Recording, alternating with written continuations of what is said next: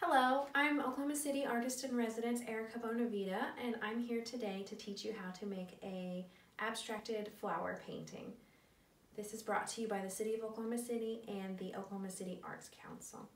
So the first thing to think about when you're creating an abstracted flower painting would be where you're going to draw your inspiration from. And this is one that I just think there is so much potential to go in any direction you want. Um, I think that first and foremost, you might want to look in your own backyard and see what you have growing. If you're an avid gardener, you'll probably have a lot of inspiration.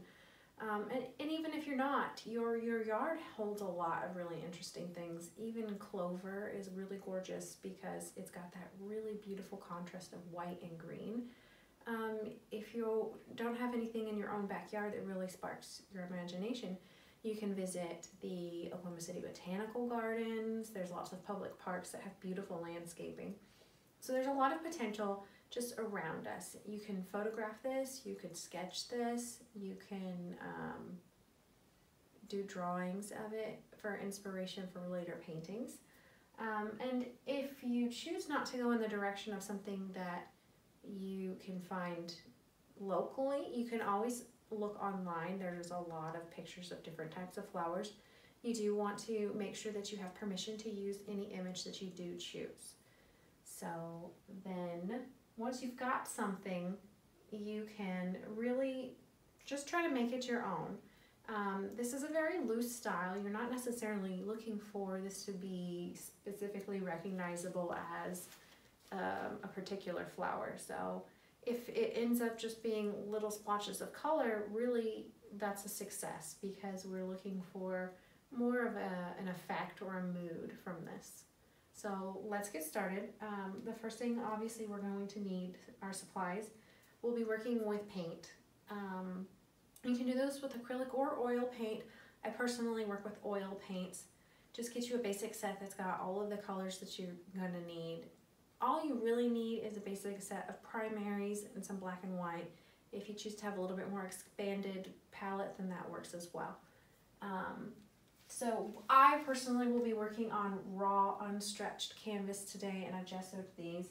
You can also find um, stretched canvas at, hard, at um, art supply stores and you could use wood panels and you could really choose to paint on anything if you wanted to paint on the surface of a table or a pot or um, you know, anything that's not going to absorb the paint too much, you are welcome to go crazy on. This, this is such a um, versatile style that you could really put this on anything. So let's go ahead and get started.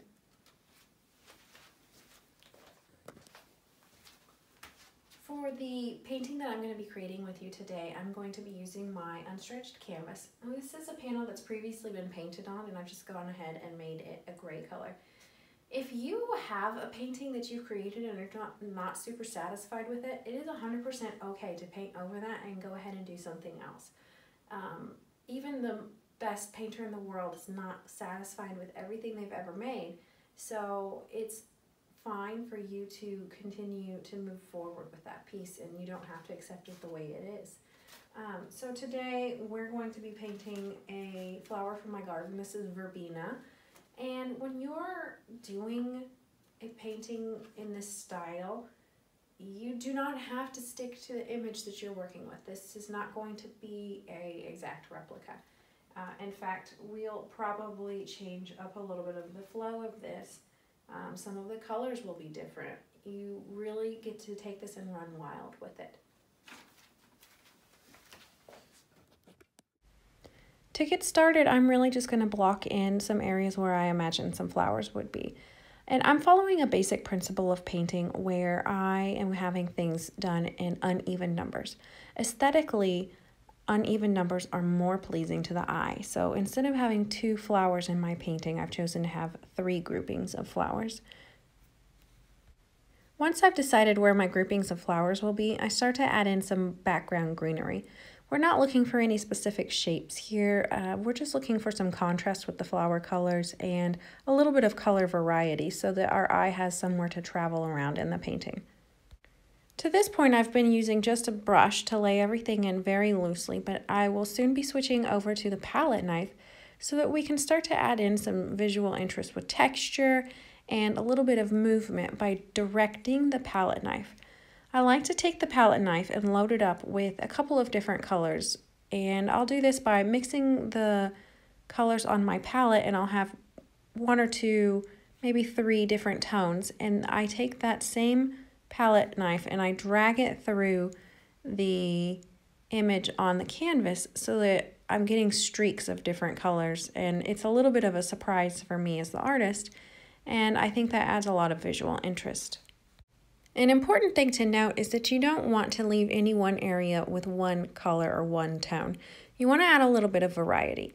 So I have some dark purples working in here. I'm adding in a little hints of blue and a lot of pink. And this just kind of breaks it up a little bit and it gives you a reason to travel around the painting and see all of the different colors. As you reach a point where you're fairly happy with the composition, you can begin to amp up the tones a little bit and create stronger contrast. So brighter brights, darker darts. So we're throwing in a lot more chartreuse here to contrast against the pinks. And that's how you create an abstracted flower painting. Thanks for joining me. Hope you enjoyed it.